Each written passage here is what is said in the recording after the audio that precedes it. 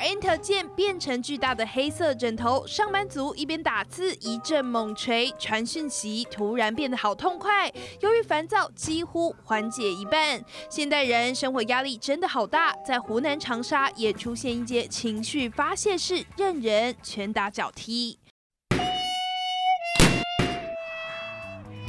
这里面发泄可以把你所有的这种情绪都释放出来，然后得到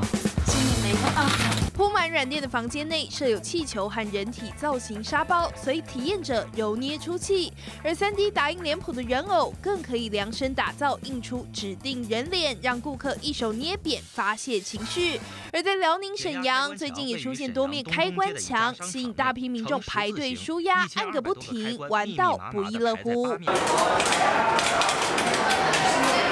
这个最开始其实就是看在别人在摁，然后自己过来想试一试，但是没想到就摁完以后就就停不下来了，觉得挺有意思的，就越摁越停不下来，然后。摁摁一会儿以后，觉得之后觉得挺释放压力的。现场咔啦咔啦的声音不绝于耳。心理咨询师表示，借由决定怎么按开关，民众可以展现自我掌控感，也会因为专注于眼前的事情，暂时忘记烦恼和压力来源，让心情变得更美丽。记者唐全报道。